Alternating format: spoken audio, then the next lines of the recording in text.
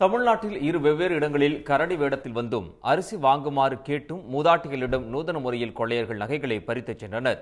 தூத்துக்குடி மாவட்டம் கோவில்பட்டி அருகே உள்ள ஆவடையம்மாள்புரத்தைச் சேர்ந்த பார்வதி என்பவரின் வீட்டுக்கு வந்த இருவர் அவரது முகத்தில் மயக்க மருந்தில் நனைத்த துணியை வைத்து மயக்கம் அடைய செய்துள்ளனர்.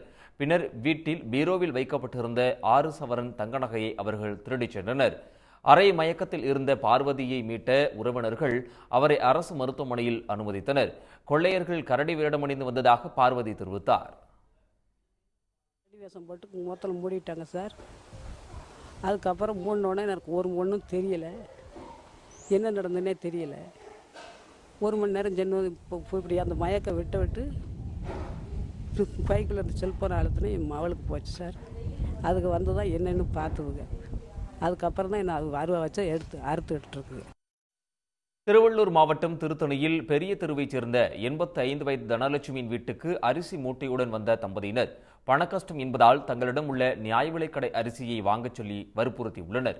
அதை நம்பி அவர்களை உள்ளே அழைத்து அரிசியை பார்த்து தனலட்சுமியை கட்டி போட்டு சங்கிலி வளையில் மோதிரம் என பத்து சவர நகைகளை பறித்து கொண்டு இருவரும் தப்பிச் சென்றனர்.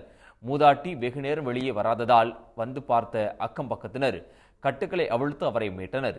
இது குறித்த புகாரின் பேரில் காவல்துறையினர் விசாரணை மேற்கொண்டுள்ளனர். உடனுக்குடன் செய்திகளை தெரிந்து கொள்ள சன் நியூஸ் பெல் கிளிக் பண்ணுங்க.